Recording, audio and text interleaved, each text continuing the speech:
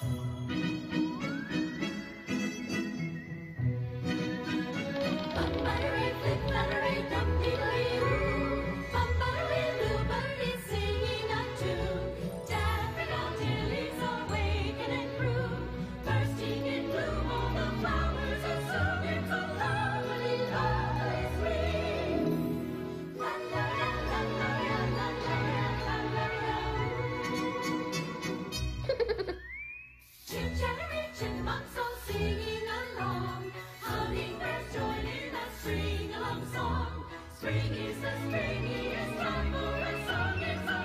In the forest we play with